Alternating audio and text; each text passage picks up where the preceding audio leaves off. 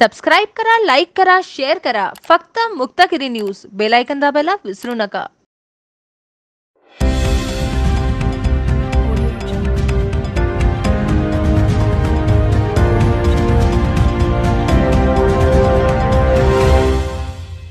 पुणे कोल्हापूर सांगली यानंतर महाबळेश्वरच्या मुख्य बाजारपेठेत रानगावात शिरल्याची घटना समोर आली आहे.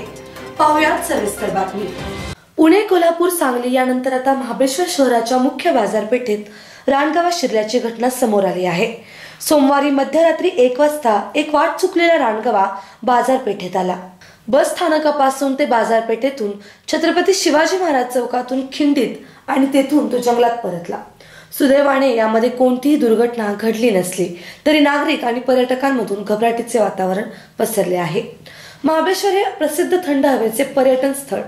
सदाहरित घटणार जंगलांनी वेढलेले आहे. या जंगलात रानगव्यांची संख्या मोठ्या प्रमाणावर वाढलेली आहे. हे गवे नेहमी कल्पाने संचार करीत असतात. येथील विविध पॉइंटवर कायम रानगव्यांचे दर्शन नागरिक व पर्यटकांना होत असते. रानगव्यांच्या हल्ल्याच्या घटनाही येथे घडलेल्या आहेत. काहींना आपले प्राण यामुळे गमवावे लागले आहेत. तर अनेक जण रानगव्यांच्या हल्ल्यात जखमीही झालेले आहेत. हे रानगवे अनेक वेळा शेतीत शिरून पिकांचे मोठे नुकसान देखील करतात. परंतु हे रानगवे शहरात कधी आले नाहीत. सोमवारी स- कळप सोडून एक रानगवा वाट चुकून शहरातील नागरी वस्तीत यामुळे आला. मधुसागर या भागात फिरणारा हा वयोवृद्ध रानगवा शहरात घुसला.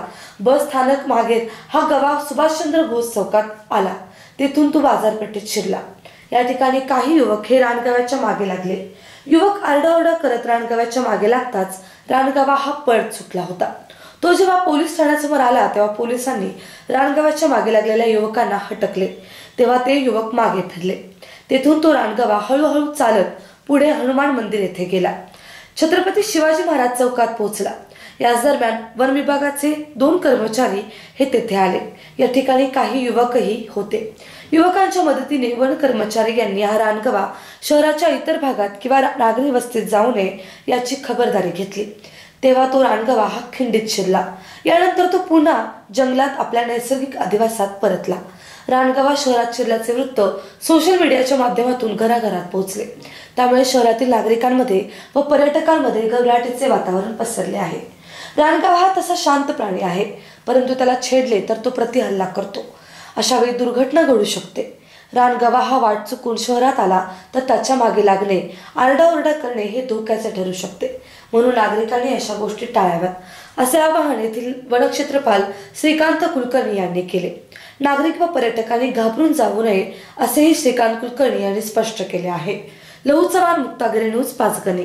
कृषी टेक प्रायव्हेट लिमिटेड घेऊन आले आहेत. पिकांच्या निरोगी दर्जेदार भरघोस उत्पादनासाठी कृषी टेकची इकोसर्ट प्रमाणित सेंद्रिय उत्पादने. पीक वर्धके नैसर्गिक कीटकनाशके नैसर्गिक बुरशी जीवाणू व सूत्रकृमी प्रतिबंधके नैसर्गिक खते व इतर उत्पादने.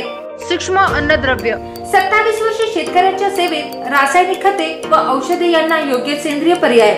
शेतीची व्यवस्था आता झाली खास. कृषी टेकची उत्पादने एकदम झकास.